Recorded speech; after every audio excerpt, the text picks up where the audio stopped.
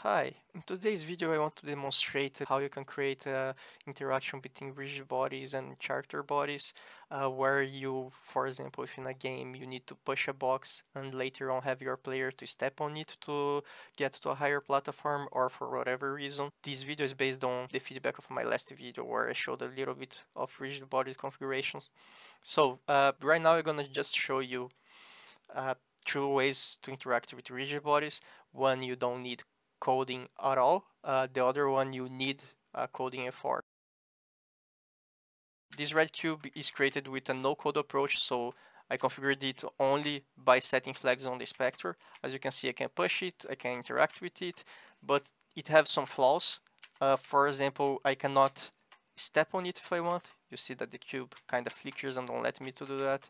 If I push it against a wall, uh, it just flickers and kind of teleports to another place. It it behaves really weirdly. And here we have this black cube. This black cube have a more complex and code required approach. Uh, I can push it as normal as well. As you can see, I can keep pushing it. It behaves slightly different. Its physics. Uh, I can step on it, so now I step on it. And if I push it against a wall, it just don't let me push it. If you want to know how you can implement the red box physics, this one that you can push it, but you cannot step above it, you cannot push it against the walls or else you're gonna have a weird behavior. You can see how you can achieve that in my other video. I'm gonna leave the link on the description below. Now, if you want to implement the black box collision, this one that you can step over it and you cannot push it against walls, uh, I'm gonna just demonstrate it. So we are doing all this pushing around of this box inside of the code. So pretty much all the uh, configuration that they have on this rigid body is just the default configuration. When you create one, it will come with all these flags set up. The only change I've made is the collision layer, but this is not required. You could have it at one, that would be still fine. I only changing this because of organization. We're gonna use it later on on the code. Right, so let's go see this code. Actually, the code don't lives inside of the black box. As you can see, the script here is empty. Uh, it, this script doesn't live inside of the rigid body. This lives inside of the character body 3D. That's because we need some player information when we gonna calculate this push that we're doing in the box we need the player direction, we need the player collisions, and we also need to know if the player is on floor. So the code that I have here is only the template that we have for the character body 3D. When you create a new script that inherits from character body 3D, you're gonna get this whole script here that just is a basic implementation of a movement and jump. What I had added was only these lines here.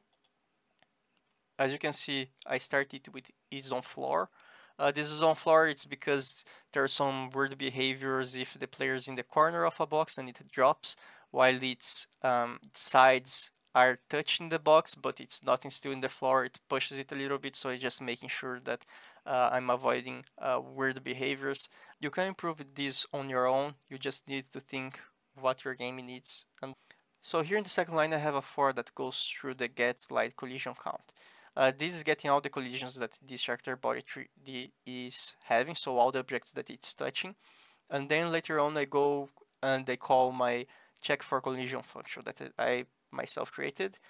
Uh, this one receives a get slide collision uh, as argument. This is returning me a kinematic uh, collision 3D object and you need to pass an index of what's the index of this collision. Since you are touching a lot of different objects, you need to know which one you want to check for collision. So pretty much uh, in this function we're checking for all the collisions that this character body 3D is having.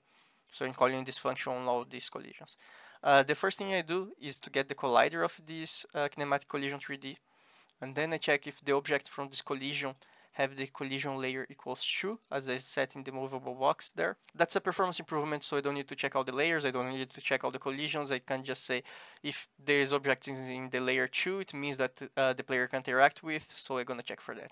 And the only thing I do is I get the player direction where the player is facing to and then I apply an impulse. So I get the object and let the object apply an impulse on itself and then here is just uh, the push direction I did it times one that is relevant, but it's just demonstrated that you can have here uh, stronger values depending on the objective you have. So you can have here 100 and then uh, this cube here would just go really far away, you know.